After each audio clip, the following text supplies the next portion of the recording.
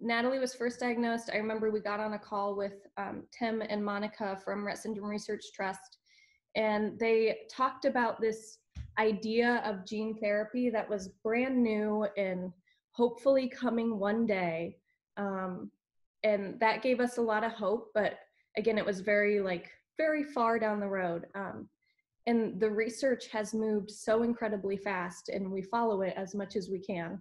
Um, and we're so excited about the prospect of any kind of treatment because right now there is no treatment for Rett syndrome. There are some drugs that can help with one symptom here and there, um, but to have an actual treatment that could really benefit benefit the girls like Natalie, and um, that's that's very promising. So yes.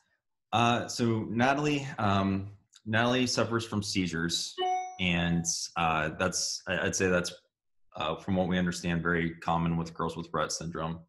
Um, so that that's one thing that has as of recently been something that we've had to um, navigate and uh, work through, um, working with our healthcare professionals on what's the best pa- you know path forward, whether it be medications or just um, you know whatever uh, options are available there.